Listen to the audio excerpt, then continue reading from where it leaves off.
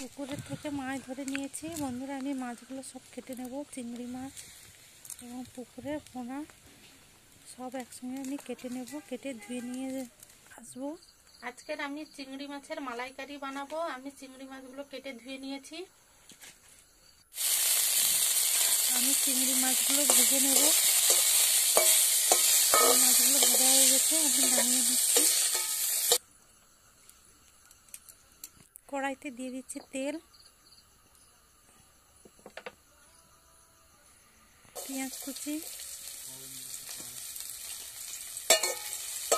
আমি পেঁয়াজটা ভালো করে ভেজে নেব। পেঁয়াজটা আমি ভালো করে লাল করে ভেজে নিয়েছি। আমি দিয়ে দিচ্ছি রসুন বাটা। দুটো একসঙ্গে আমি ভেজে নেব। আদা বাটা। তেজপাতা টমেটো কুচি হলুদ গুঁড়ো, লঙ্কার গুঁড়ো, এক চামচ কাশ্মীরি লঙ্কার গুঁড়ো। দিয়ে আমি ভালো করে মশলা কষিয়ে নেব।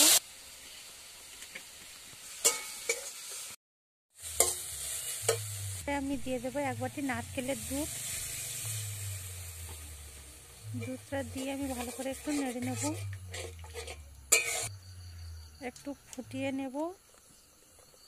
স্বাদ মতো লবণ। চিংড়ি মাছ দিয়ে দেবো এবারে। আমার রেসিপি হয়ে গেছে ঢেলে নিচ্ছি কড়াই থেকে। যারা আমার চ্যানেলে নতুন আছে বন্ধুরা চ্যানেলে সাবস্ক্রাইব করো এবং বেল আইকন নিচে ক্লিক করো